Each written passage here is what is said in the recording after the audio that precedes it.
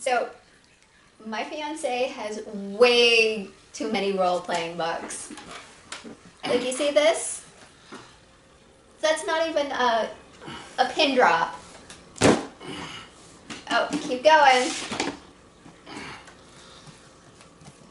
Oh, there's more.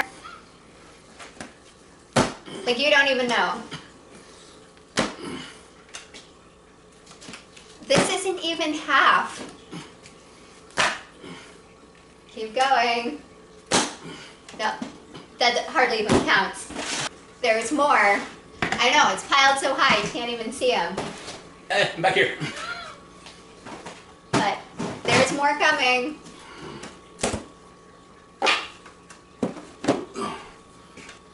Coming.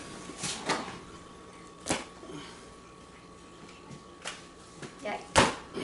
Keep showing them.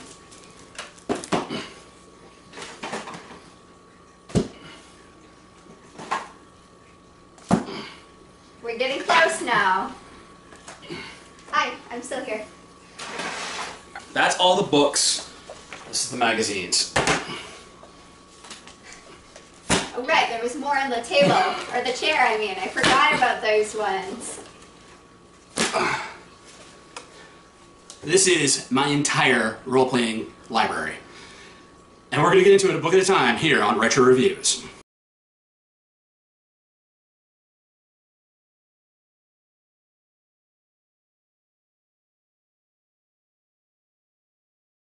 Hey everybody, welcome to Retro Reviews, a review show where we go through my copious amounts of Dungeons and Dragons books along with other role-playing games, one book at a time. And originally when I had the idea for this channel, I was sitting down and basically recording like a two-hour episode, but I figured nobody's going to want to watch that. So I've enlisted my lovely fiance Laura to uh, keep me on task and try to keep these down to 10 minutes. Hey, everybody. So, I've got a bunch of questions, like you said, that we're going to go through for each book.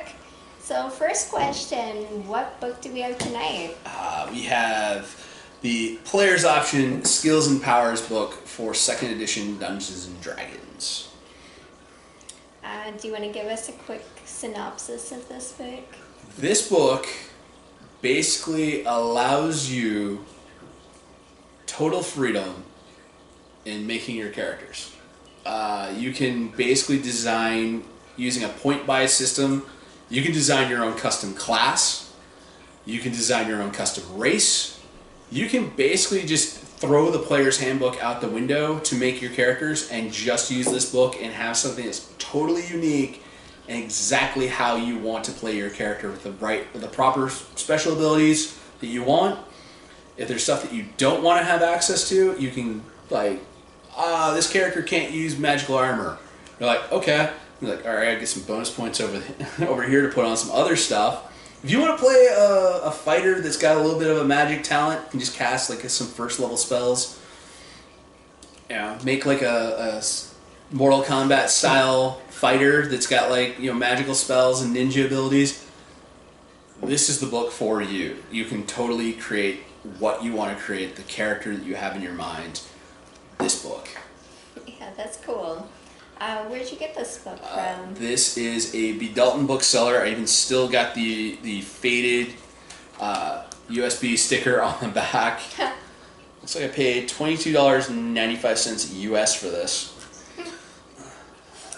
Um, so, I guess you kind of already said what you like about this book. Do you want to add anything to that?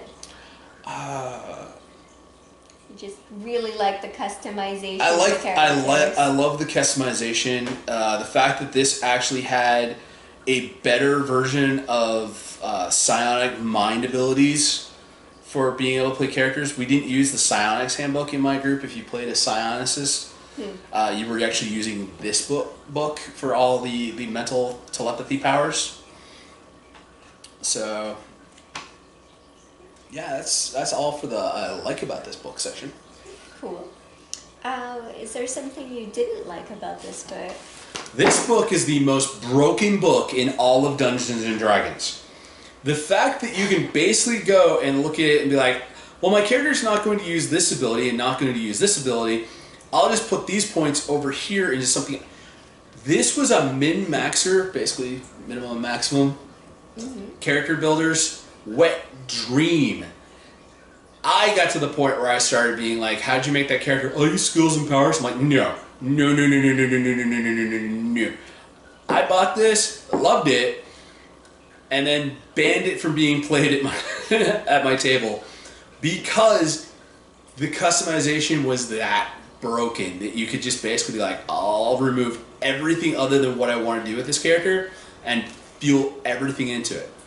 So what I love about it is it creates cool, interesting, unique characters. What I hate about it, it builds broken powerhouses of characters. There was no, there was like the two There's extremes. balance. There's no balance in this book.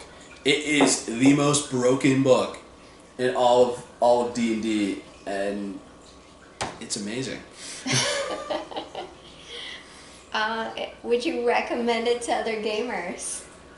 I would recommend this to. I would recommend this. I would definitely recommend that if you're playing old school D and D and you've gotten bored and you want to open up the doors and do stuff, but knowing that it's broken, I would definitely say D. This it, says players option, but this really needs to be DM's option. This is the book that you want when you're like, I want to design a custom class. I want to design a custom, a new race to play. I want to, I want to make some interesting choices to give to my players for stuff like that. That's when you use this book. Is the DM build stuff to fit their game world Not, just open just, it up. Not not just hand it over to a player and be like build whatever you want. This you need to have this book in your collection as a DM, as a player. If you're using this book, you need to sit down with your DM and have a serious conversation because it can get that broken. like a free for all. It, it can completely unbalance a game hmm. if it's Yeah. not used. Use this book wisely. Are you planning to keep this book? Uh, yes, uh, because I do want to go back through and design. Uh, I've got some custom uh, races and classes for my D and D world that I need to codify, and I want to use this book to do that. And I also do not want to have this book get out into the wild and wreak havoc in other people's D and D games.